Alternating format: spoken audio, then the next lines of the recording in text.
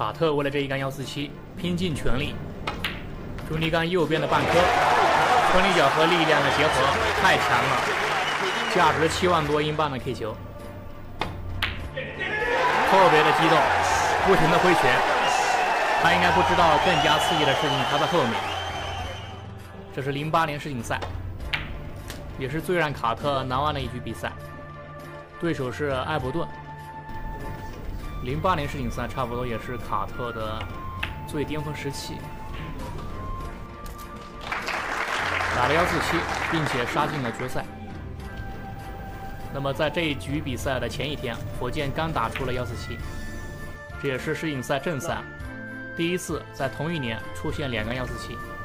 这一年幺四七的奖金是十四点七万英镑，再加上一万英镑的最高奖，加起来是十五万七。火箭以为自己一个人可以独享，没想到卡特从半路杀出来。Seventeen。这时候卡特只有二十九岁，他也是七零后，比火箭小四岁。要不是因为火箭，他可能现在世锦赛冠军已经有了。From both plays。带了一下球队，效果还行。白球的位置也不是白给，需要推过来。And some mistakes。现场的裁判是凯米拉利，执裁了将近二十年的比赛，他见证过的幺四七一共是六次，特别是世锦赛，他见证过两次。卡特这一次，还有零九年碰的另外一次。这时候艾弗顿的状态也还算不错，他在零六年应该刚拿过英国锦标赛冠军。他就差一个大师赛，就是大满贯。总的来说，他比卡特成就要高得多。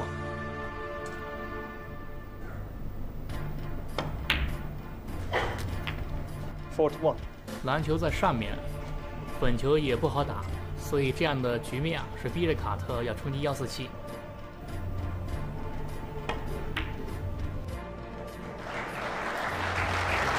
好球！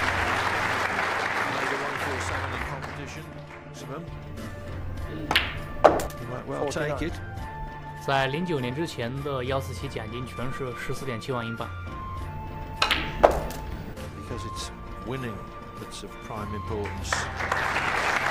太过了。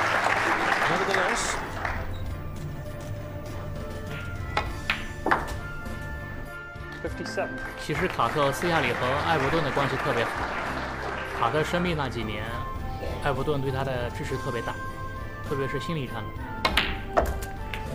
有几年啊，卡特每一场的比赛，艾伯顿都会到现场去支持。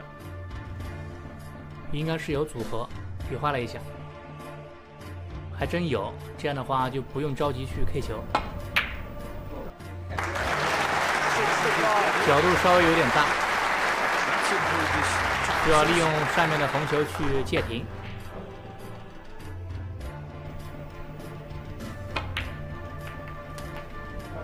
好球！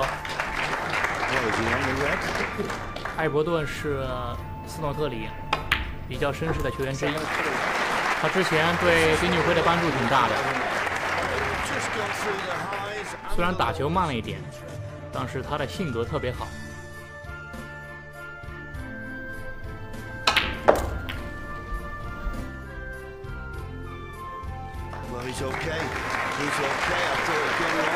七万多英镑的奖金，差不多也是卡特所有的幺四七里最高的一次了。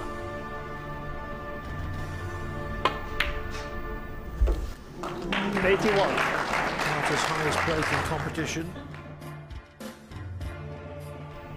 打了十套才给出提示，因为之前卡特没有打过幺四七。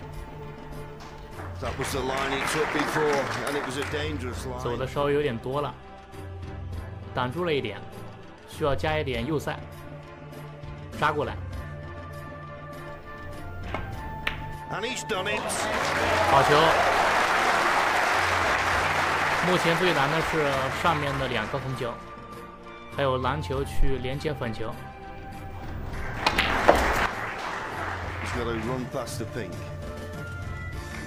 漂亮，红球角度是向下。下一杆特别重要，黑球要留出向上的角度，因为接下来需要 K 球了。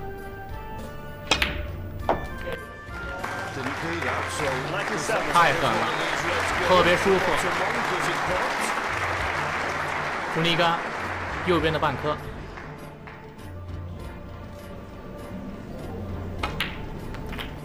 太强了！这一杆 K 球至少是价值七万多英镑。他这一杆 K 球要比火箭那一杆斯登 K 球要比较容易。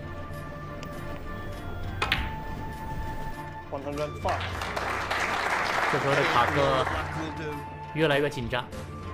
第一次打幺四七，又是在世锦赛 as good. As it could have hoped for.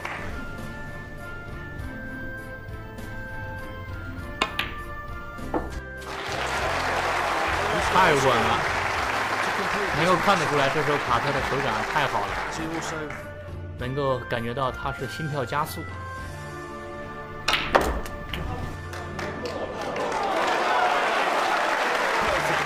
现场的球迷也在尖叫在期待本届世锦赛能够出现第二杆幺四七。122.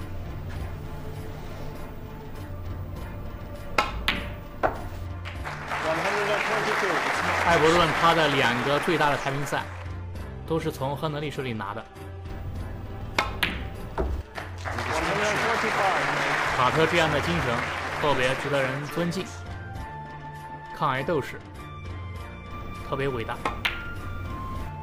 139. 篮球叫滚球特别重要，角度尽量要留出微微向下，或者偏直也行，总之不能向上。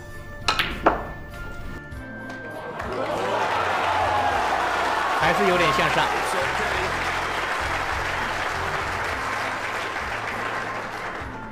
，okay. 看起来确实很紧张。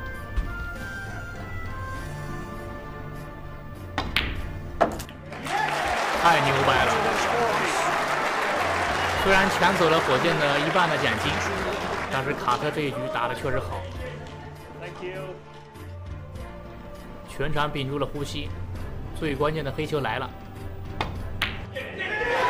特别刺激，他也是不停的挥拳庆祝。价值七万八千五百万的幺四七，艾伯顿特别绅士啊，立即跑上去，给了最大的一个拥抱。